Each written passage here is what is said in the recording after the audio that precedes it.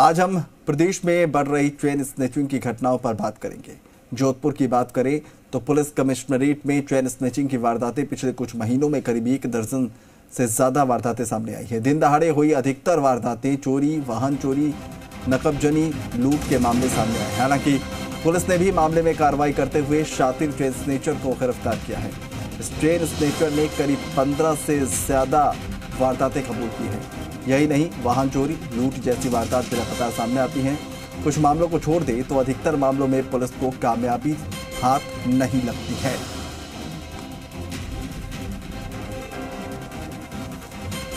तो लगातार ऐसी शिकायतें देखने को मिली हैं। कुछ तस्वीरें भी हम आपको दिखा रहे हैं अलग अलग घटनाओं की, जहाँ पर इस तरह की घटनाएँ देखने को मिली है। और सबसे जो परेशान करने वाली बात है वो ये कि ऐसे मामलों में ज़्यादातर में पुलिस नाकामयाब भी साबित रही है।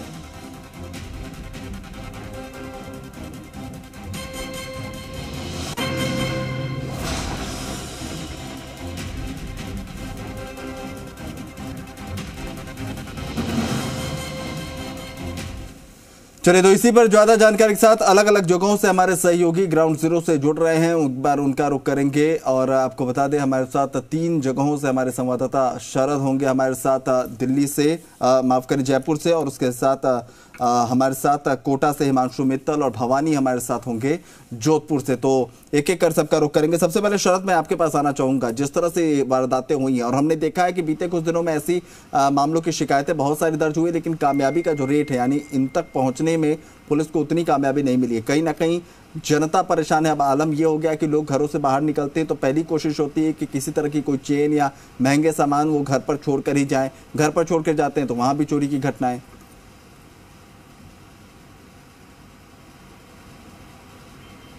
देखिए, ये जो इस तरह के लोग हैं, टारगेट बनाते हैं ऐसे सोनी जगहों को सुनसान रास्तों को, जहाँ से महिलाएँ निकलती हैं, भले मॉर्निंग वॉक के लिए जाए, मंदिर जाए, और उस जगह पर जाकर के ये चेन स्नेचिंग की वारदात को अंजाम देते हैं। पिछले अगर समय की बात करें, जयपुर में काफ़ी वारदातें सामने आई है, और उसको लेकर के जयपुर शहर की अगर मैं बात करूँ कमिश्नरेट की तो एक CST टीम अलग से यहाँ पर काम करती है, जिसकी एक विंग है, जो कि सिर्फ़ और सिर्फ़ चेन स्नेचिंग मोबाइल स्नेचिंग की वारदातों को कम करने के लिए अलग से टीम बनाकर काम करती है। इसके अलावा जो जयपुर के थाने हैं लगभग सभी थानों के अंदर अलग से कोशिश की जाती है कि चेन स्नेचर्स को गिरफ़्तार किया जाए और इसके लिए लगातार अलग अलग तरीके से अभियान भी जयपुर शहर के अंदर चलाए जाते हाँ। हैं। जयपुर पुलिस कमिश्नरेट की ओर से।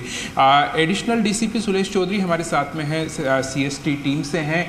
किस तरह से वो लोग कार्रवाई करते हैं इन चेन स्नेचर्स को पकड़ने के लिए? और कई बार कामयाबी नहीं भी मिल पाती सभी तरह के मामलों में। उनको लेकर के सारी चीज़ें जानने की कोशिश करते हैं। मैम पिछले कुछ समय की बात करें कितनी वारदातें जयपुर शहर में देखने को मिली और सीएसटी की ओर से क्या कार्रवाई रही? अभी इस साल की बात अपन कर रहे हैं तो इस साल में लगभग 47 सेवन चैन स्नेचिंग की वारदात पूरी कमिश्नरेट में एरिया में हुई है, जिसमें हमारी सीएसटी टीम की जो चैन स्नेचिंग और मोबाइल स्नेचिंग जो यूनिट है वो इसमें लगातार कार्रवाई करती है और जितने भी चैन स्नेचिंग की वारदात होती है, घटना स्थल पर जाते हैं, वहाँ जाके मौका देख करके सीसीटीवी फुटेज निकाल करके और उनके बारे में पता लगाते हैं। और इस तरह इस इस पूरे प्रयास में हम लोग लगभग 20-22 चैन स्नेचर्स को अभी तक गिरफ़्तार कर चुके हैं और बाकी हमारे प्रयास जारी हैं, लगातार उनके बारे में जानकारी हम जुटा रहे हैं। इसके अलावा मैम बात करें तो आप जैसे कह रहे हैं, लगभग 50 परसेंट हम मान के चल सकते हैं, सफलता मिली है। बाकी चेन स्नेचर्स क्यों नहीं पकड़ में आ रहे? क्या वो शहर से बाहर चले जाते होंगे या फिर कहाँ, किस तरह से छिप जाते होंगे कि पकड़ से बाहर है? एक्चुअल में क्या है कि जो चैन स्नेचर है, वो ज़्यादातर नशे के आदि होते हैं। जो नशे की लत से जो जुड़े हुए रहते हैं, नशे में भी इस तरह की वारदात करते हैं, नशे के पैसे को कलेक्ट करने के लिए कि भाई नशे का कैसा खरीदा जाए, उसके लिए चैन स्नैचिंग मोबाइल स्नैचिंग की वारदात मैगजिम इसी तरह के लोग सामने आ रहे हैं। ये लोग वारदात करने के बाद में कई बार तो शहर छोड़ के चले जाते हैं, जैसे टोंक से कोई बंदा आया, उसने वारदात करके चला गया, कोई करौली से आया, कोई धौलपुर से आया चैन स्नैचिंग की वारदात, दो उसने चैन स्नैचिंग की वारदात करी, फिर निकल गए। तो उनको ढूँढने में बड़ा मुश्किल होता है पुलिस के लिए कि भाई, क्योंकि मोबाइल का आजकल बहुत कम लोग इस्तेमाल कर रहे हैं ऐसे घटनास्थल पर तो यदि उसकी व्हीकल का फुटेज में नंबर आ जाता है तो काफ़ी आसानी से हम लोग उसको पकड़ने में आसान रहता है। बाकी पूरा प्रयास रहता है कि हम किसी भी तरह से महिलाओं को इस जो ये भय की स्थिति है, उनको सुरक्षा प्रदान की जाए और पूरी पुलिस इसके लिए मुस्तैद रहती है, थाना पुलिस भी इसके लिए मुस्तैद है। लगातार हम लोग इसमें कार्रवाई कर रहे हैं। आगे भी हमारा प्रयास जारी रहेगा कि हम इस तरह की जो वारदात है, उनको रोकने का हर संभव प्रयास करें। महिलाएँ क्या करें बचने के लिए? क्योंकि वो बाहर जाती है, उनको पता नहीं होता, अचानक कोई झपट्टा मारता और अभी मैंने देखा राजा पार्क के अंदर कुछ दिनों पहले वारदात हुई, गंभीर रूप से दो महिलाएँ घायल हो गई थी और उसके दस दिन बाद में फिर से इस तरह की वारदात देखने को मिली, उसमें भी महिलाएँ घायल हो जाती है। तो उनकी कोई गलती नहीं होती, बेवजह उनके ऊपर इस तरह से कहा जा सकता है कि हमला भी है, सिर्फ़ चेन स्नेचिंग नहीं है कि उनको जो अपराधी होते हैं घायल तक कर जाते हैं। बिल्कुल ये बात आप सही कह रहे हैं कि महिलाएँ जब बाहर निकलती हैं तो थोड़ा सा कॉन्शियस रहने की इसमें आवश्यकता है कि सचेत रहें, सावचेत रहें, अपने आसपास में कोई चल रहा है या गाड़ी कोई आ रही है तो थोड़ा सा अपन उस पर अलर्ट रहें तो काफ़ी इसमें अपन बचाव कर सकते हैं। बाकी अचानक इस तरह का अटैक होता है तो निश्चित रूप से महिला घायल होने की स्थिति में आ जाती है क्योंकि वो अपने आप को संभाल नहीं पाती है और ये जितने भी चैन सिनेचर हैं वो ज़्यादातर वृद्ध महिलाएँ और कमज़ोर जो महिलाएँ दिखती हैं, उन्हीं पर इस तरह के अटैक करने का प्रयास करते हैं या जैसे जो थोड़ी मज़बूत या यंग महिला होती है उन पर कम इस तरह का अटैक होता है। लेकिन उन बुज़ुर्ग महिलाओं को भी सावचेत रहने की ज़रूरत है। थोड़ा सचेत रह करके अपने इर्द गिर्द के लोगों को देख करके यदि अपन चले तो इसमें अपन सावधानी बरत सकते हैं। इसके अलावा जो ये चेन स्नेचिंग की वारदात कर रहे हैं क्या ये बार बार वही अपराधी हैं जो जेल जाते हैं छूट कर वापस आ जाते हैं फिर से वारदात करने लगते हैं या फिर हर बार नए अपराधी जुड़ते चले जाते हैं इस तरह की वारदातों में? कुछ लोग इसमें रिपीटेडली अपराध करते हैं जो प्रोफेशनल चैन स्नेचर हैं वो रिपीटेड वारदात करते हैं। बाकी इसमें ज़्यादातर लोग नए सामने आ रहे हैं। कि कोई भी लड़का जो 20-22 साल का लड़का है या इसी एज ग्रुप में जो यूथ घूम रहे हैं, जिनको कि बुरी आदतें लगी हुई हैं, नशे की लत लगी हुई है, किसी और तरह की आदत उसमें लगी हुई है, उसको पूरा करने के लिए वो एक सबसे इजी टारगेट है कि भाई रास्ते चलते ही चैन तोड़ी और ले गए, दस पंद्रह हज़ारों में बेच दी, बीस हज़ारों में बेच दिए, उनके पास पैसे आ गए, जैसे ही वो पैसे खर्च करते हैं, उसके बाद वापस अगेन उस पर अटैम्प्ट करते हैं इस तरह का। लेकिन कुछ प्रोफेशनल चैन सिनेचर भी हैं जो कि, जिनके खिलाफ दस दस पंद्रह पंद्रह बीस बीस मुकदमे भी चैन सिनेचिंग के हैं। तो ये लोग वापस जेल से छूट कर आ जाते हैं, फिर से वारदातें करते हैं। क्या सजा कड़ी होनी चाहिए ऐसे लोगों के खिलाफ? क्योंकि चेन स्नेचिंग एक मामूली घटना नहीं कहा जा सकती। एक महिला जो घर से बाहर निकल रही है और इस तरह से उसकी जो अपराध होता है, उसको हमेशा के लिए वो एक उसके जेहन में डर पैदा कर देता है और कॉलोनी में भी भय का माहौल पैदा होता है इससे। बिल्कुल निश्चित रूप से जो इस तरह की जो ये चैन स्नेचिंग की वारदात है काफ़ी गंभीर वारदात होती है जिसमें एक आदमी के साथ में वो एक उसकी मानसिक स्थिति पे बड़ा गंभीर प्रभाव पड़ता है महिला के मानसिक बिल्कुल शरद कहीं ना कहीं मानसिक स्थिति पर इसका प्रभाव पड़ता है ये बिल्कुल वाजिब बात है और यही वजह है कि चिंता जो है वो बढ़ने लगी है। एक बार जोधपुर भी चलते हैं भवानी के पास उनसे जानने की कोशिश करते हैं। भवानी जैसा आप सुन रहे थे कि तमाम ये बातें निकल कर सामने है कि ना सिर्फ़ ये घटनाएँ होती है जो नुकसान होता है उसके साथ साथ मानसिक तौर पर लोग जो है परेशान होते हैं और यही जो मैसेज है वो पूरे सोसाइटी में फैल जाता है और लोग कहीं ना कहीं डरे सहमे रहते हैं। बाहर निकलने में कहीं ना कहीं कोताही बरतते हैं, घबराए रहते हैं असहज महसूस करते हैं। किस तरह की स्थिति और किस तरह के प्रयास ऐसी चीज़ों को रोकने के लिए वहाँ देखने को मिल रहा है? देखिए, अगर जोधपुर कमिश्नरेट की बात करें तो कमो वेश पूरे राजस्थान में जिस तरह के हालात है, वैसे ही जोधपुर में है और अगर आपराधिक घटनाओं की बात करें तो जो चोरी की वारदातें हैं, चाहे नकबजनी की वारदातें हैं या फिर चैन स्नैचिंग की वारदातें या फिर लूट की वारदातें हैं, इस तरह की वारदातों में लगातार इजाफा हुआ। हालाँकि पुलिस लगातार दावे करती है, नियमित गश्त के दावे करती है नाकाबंदी की बात करती है, लेकिन कहीं ना कहीं जो पुलिस की कार्यप्रणाली है, उन तमाम दावों पर जो है सवाल खड़े करती है। आखिरकार जब इतना पुलिस का बंदोबस्त रहता है। इसके बावजूद जिस तरह की घटनाएँ अगर पिछले तीन चार महीनों के आंकड़े देखें तो करीब आधा दर्जन से अधिक वारदातें हुई। वो भी अधिकतर जो वारदातें हुई है, चैन स्नेचिंग की, वो दिन दहाड़े हुई है। जब महिलाएँ सुबह या तो मंदिर जाती है, या फिर महिलाएँ बाज़ार जाती है तो इस दौरान इस तरह की घटनाओं को बाइक सवार पर होकर आते हैं युवा और उस वारदात को अंजाम देते हैं। अगर पुलिस की कार्रवाई की बात करें तो अभी तक जो अधिकांश वारदातें हुई है, हालाँकि पुलिस ने इस मामले में, एक मामले में कार्रवाई की थी और एक चैन सनेचर को गिरफ़्तार भी किया था उससे करीब पंद्रह से अधिक वारदातें भी कबूल की थी। लेकिन कुल मिलाकर के कह सकते हैं कि अधिकतर ऐसी वारदातों को पुलिस खोलने में भी नाकाम रही है आ, कह सकते हैं असफल रही है। ऐसे में जो लोग हैं वो जब घर से बाहर निकलते हैं खासतौर से जो महिलाएँ हैं जो लड़कियाँ हैं वो निकलती है तो कहीं ना कहीं उनके मन में एक डर ज़रूर रहता है। और पुलिस के प्रति जो भरोसा और विश्वास जो लोगों में होना चाहिए वो नहीं रहता है। मेरे साथ में महेंद्र जी मेघवाल है। आपसे जानना चाहूँगा किस तरह की घटनाएँ होती है और लगातार जिस तरह से शहर में इस तरह की घटनाएँ सामने आती रही है। कई बार विपक्ष ने भी इस मुद्दे को उठाया था, लोगों ने भी आवाज़ उठाई थी, लेकिन लगातार इस तरह की वारदातें बढ़ रही। क्या कारण मानते हैं आप इसके मैं तो हमारी पार्टी पिछले कई समय से यहाँ स्थानीय प्रशासन को इस संबंध में ज्ञापन दे चुकी है। और कई बार तो हमने कह रखा, और दुर्भाग्य है यहाँ के मतलब जायजन में इस प्रदेश के मुखिया हैं मुख्यमंत्री अशोक गहलोत हैं। उनके गृह ज़िले में जब इस तरह के हालात होते हैं तो वास्तव में फैमिलियों में बहुत डर का माहौल है। मॉर्निंग वॉक हो चाहे इवनिंग वॉक हो हमारे यहाँ का एक आ, सरल स्वभाव है और यहाँ की अपनायत रही है कि महिलाएँ बिल्कुल निसंकोच से अपना विचरण करती हैं घूमती हैं मार्केट में जाती है। लेकिन जैसा कि अभी सुनने में आया आपकी डिबेट चल रही थी कि कि महिलाएँ सावचेत रहें। क्यों रहें महिलाएँ सावचेत? प्रशासन क्या कर रहा है? प्रशासन का इस तरह का निक, निकम्मापन है और आँख मूंद के बेटा दस बारह जब इस तरह की चेन केसिंग होगी और एक में पकड़ेंगे एक में पकड़ के अपनी पीठ थपथपाएँगे जबकि पूरा की पूरा इनका मुझे लगता है कि कहीं ना कहीं आपस में ये मिले हुए हैं और लोगों में बहुत डर का माहौल है और यहाँ के मुख्यमंत्री यहाँ नियमित रूप से आते रहते हैं और आज भी आप देखिए कल कल का ही देखो आप कल पुलिस के एक अधिकारी को बोनट से उड़ा दिया। किसको पकड़ा आपने? आखिर डर तो इस भवानी भवानी इनके बातों से ये लगता है कि कहीं ना कहीं नाराज़गी इस बात से लेकर कि घटनाएँ जो हो रही है वो तो ठीक है वो अपनी जगह पर हैं लेकिन उस पर अगर कार्रवाई अच्छी तरीके से हो तब जाकर जो है लोगों को संतुष्टि मिलेगी। और जैसे आपसे बातचीत में वो बता रहे हैं कि कहीं ना कहीं मलाल इस बात का भी है कि सख्ती से अगर कार्रवाई हो ऐसे लोगों पर नकेल कैसा जाए तो कहीं ना कहीं जो है आ, इस पर कामयाबी पाया जा सकता है। इस परेशानी से निजात जो है मिल सकती है। एक बार कोटा भी चलते हैं। हमारे साथ हिमांशु हैं। हिमांशु कोटा की अगर बात करें, घटनाएँ वहाँ भी इस तरह की लगातार देखने को मिलती है। और हमने कई बार देखा है सीसीटीवी फुटेज भी सामने आ जाते हैं इस तरह की घटनाओं के, और दूसरी कई जानकारियाँ मिल जाती है, लेकिन उसके बाद चीज़ें पुरानी हो जाती हैं। जिनके साथ ऐसी घटनाएँ होती, वो वो थाने के चक्कर लगाते रहते हैं, लेकिन उनको बहुत जल्दी अपराधियों तक तो पुलिस पहुँच नहीं पाते तो कहीं ना कहीं एक ये भी कंसर्न है लोगों का कि अगर घटनाएँ हो रही हैं तो उस रेशियो में जो है अपराधियों की धरपकड़ नहीं हो पा रही।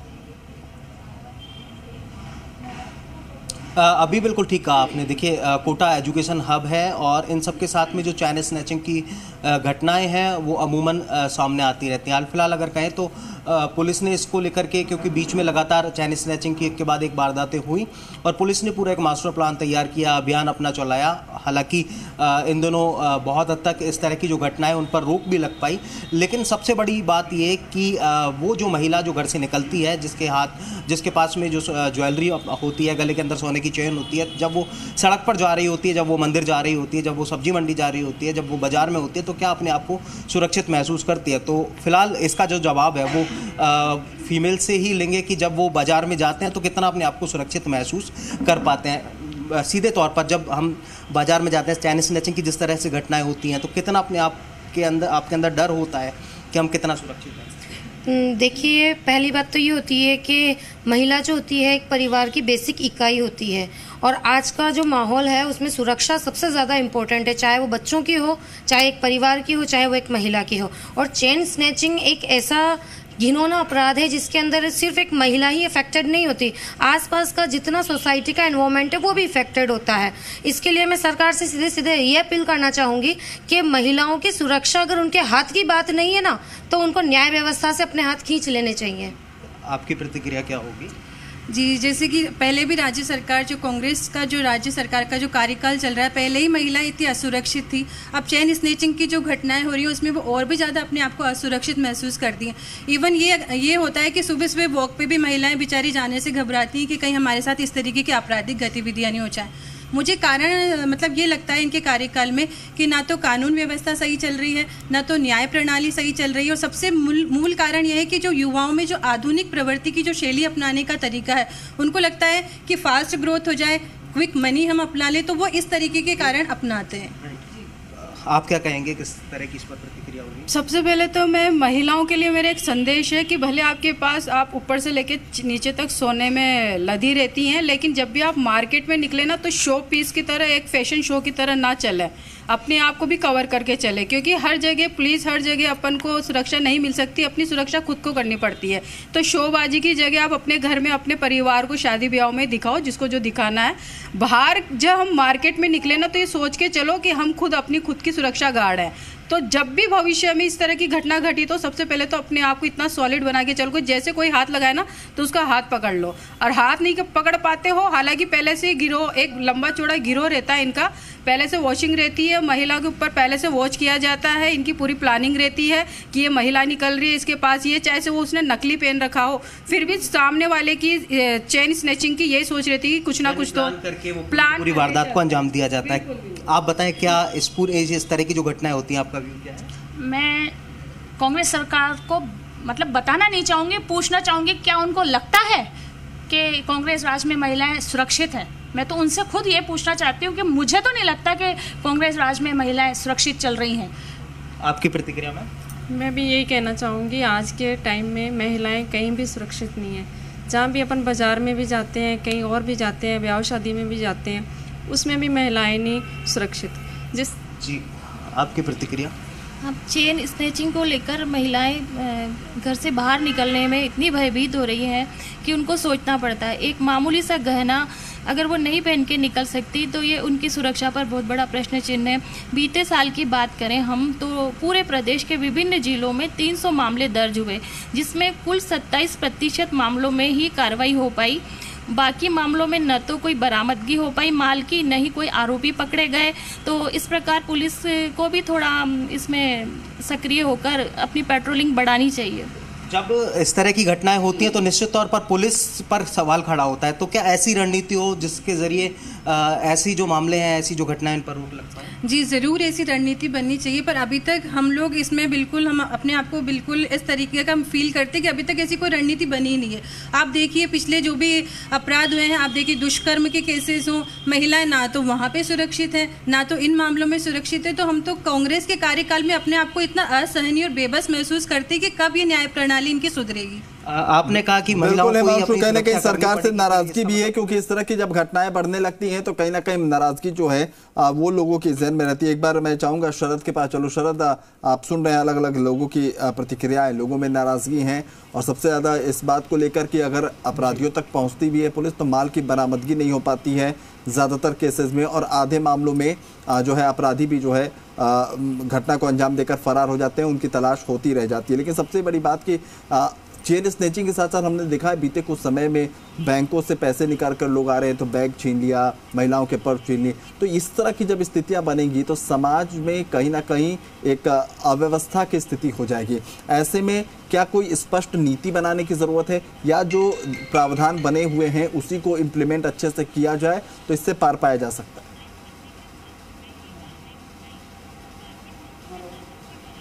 देखिए नीति के साथ साथ में कहा जा सकता है कि एक अलग से अलग से पुलिस की विंग होनी चाहिए जिस तरह से जयपुर शहर में है। क्योंकि जिस तरह से अभी कुछ आंकड़े सामने आ रहे थे 300 मामले पिछले साल में आए जिसमें से 27 प्रतिशत ही खुलासे हो पाए या गिरफ्तारियाँ हो पाई। लेकिन जयपुर के अंदर अगर बात की जाए तो पचास प्रतिशत तक ये चीज़ें पहुँच जाती है और उससे भी ज़्यादा अगर साल के अंत होते होते देखेंगे तो उससे भी ज़्यादा स्थिति में ये मामले पहुँच जाएँगे आंकड़े पहुँच जाएँगे। तो अगर सभी शहरों में कुछ इस तरह से विंग बना करके अलग से कार्रवाई कार्रवाई करें क्योंकि सिर्फ़ पुलिस थानों के दम पर नहीं कहा जा सकता कि इन स्नेचर्स को पकड़ा जा सकता है हाँ। क्योंकि ये एक अलग रणनीति के साथ यहाँ पर काम करते हैं अलग अलग जगहों से आकर एक शहर में रहते हैं और ये एक संगठित गिरोह नहीं है ये किसी भी तरह के कोई भी युवा हो सकते हैं जो कि भले यहाँ पर पढ़ाई करने के लिए आया हो यहाँ पर आकर के उसको पैसे की ज़रूरत है नशे की लत है और वो चेन स्नेचिंग करने लग गया क्योंकि हाँ। एक बड़ा आसान सा अपराध है अच्छी बात कही कि असंगठित है और इसीलिए जो है इसको बेहतर तरीके से टैकल करने की ज़रूरत है और जो लोग इसमें पकड़े जाते हैं, कोशिश ये होनी चाहिए कि इस तरह के प्रावधान हो कि उसके बाद जब वहाँ से निकले तो दोबारा ऐसे मामलों को अंजाम ना दे। बहुत बहुत शुक्रिया, आप तमाम सही